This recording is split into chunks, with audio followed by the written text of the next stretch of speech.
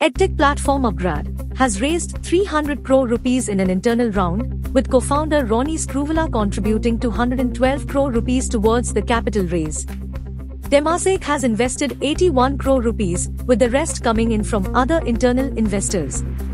Upgrad was founded in 2015 by Screwvala, Mayank Kumar, and Phalgun Kompalli. It last raised $210 million, around 1,638 crore rupees, in August 2022 from investors including ETS Global, Bodhi Tree and Singapore's Kaizen Management Advisors PVT Ltd, which put the company's valuation at around $2.5 billion. The company said it currently operates out of 31 offices located in India, the United States, the United Kingdom, the Middle East, Singapore, and Vietnam.